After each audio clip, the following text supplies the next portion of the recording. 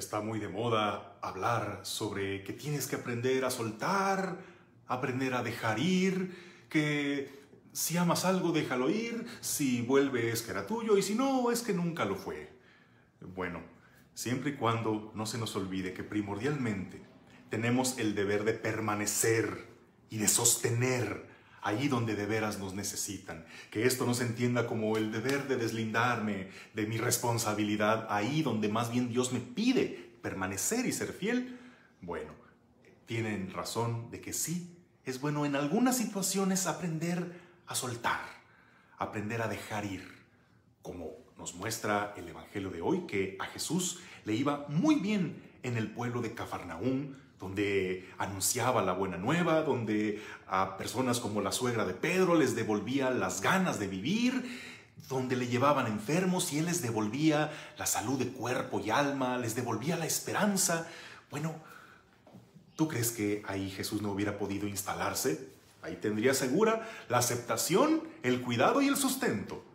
Pero el mismo Jesús sabía bien que si permanecía allí, no se completaría su misión era ir a anunciar la buena nueva a los más posibles. Por eso, aunque ahí le rogaban y lo quisieron retener, el Señor sabia y maduramente nos pone aquí la lección, no, porque tengo que ir también a anunciar la buena nueva a las demás ciudades.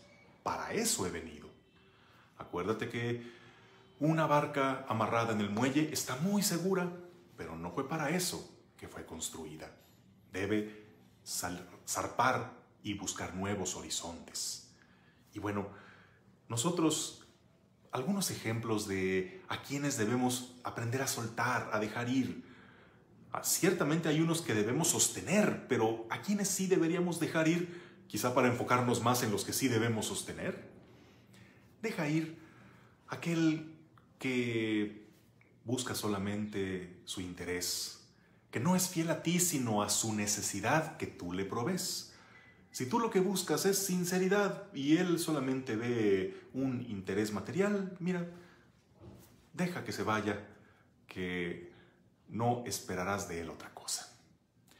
También aquel que ves que no va a cambiar su actitud, que ya te lo demostró de muchas maneras y que aferrarte a continuar eh, o intentar otra vez sanar esa relación va a ser solamente motivo de más dolor, de hacerse más daño el uno al otro, es mejor dejar ir a quien no quiere cambiar por ti.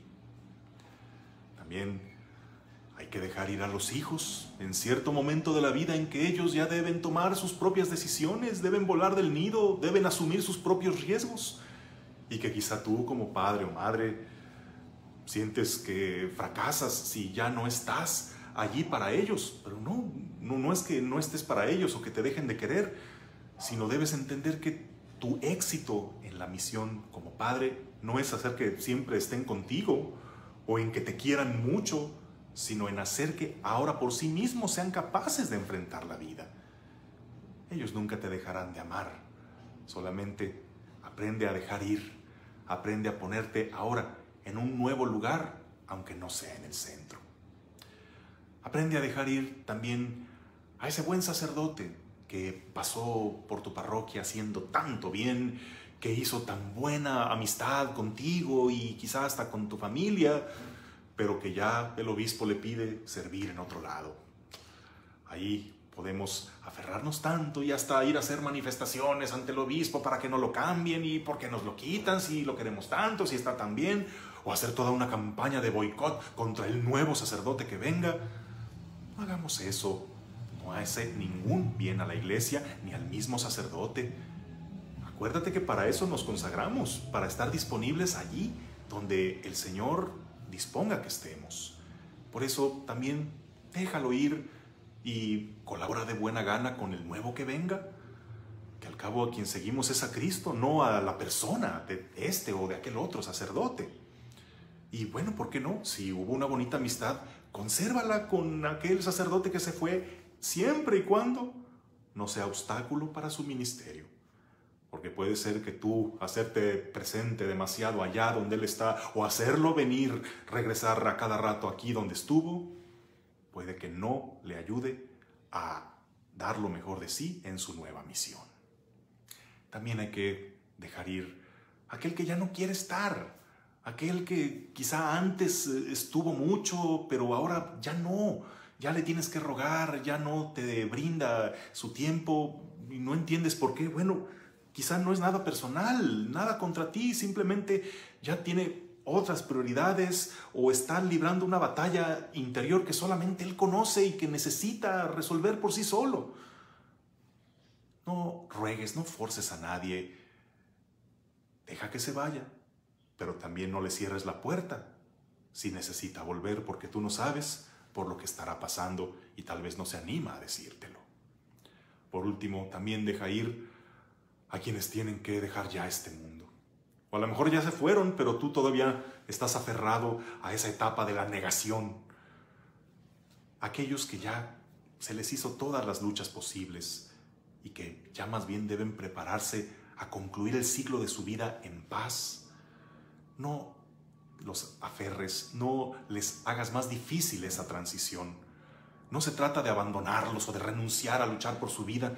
Se trata de entender que la muerte es algo inevitable y que es la meta final de nuestra vida. Entonces nos hace mejor prepararnos, aceptar con paz que este momento va a llegar y no hacerles angustiarse por aferrarse aquí.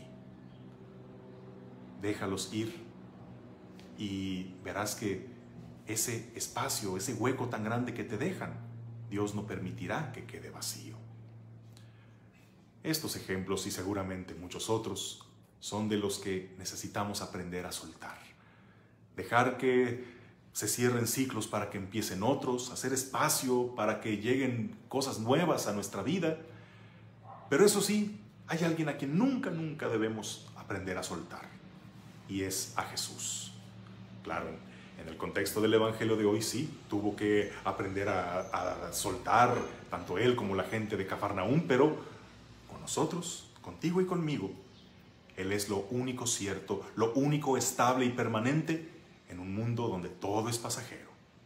La gente va y viene. Hoy está y mañana quién sabe. Nosotros hoy aquí estamos, mañana no sabemos dónde.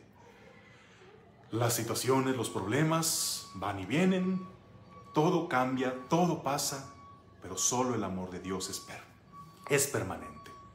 Así que si has de encontrar alguna estabilidad, que sea la del amor de Cristo.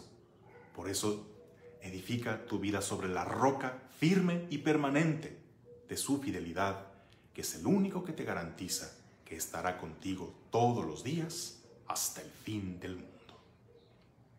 Que tengas un bendecido día en el nombre del Padre y del Hijo y del Espíritu Santo. Amén.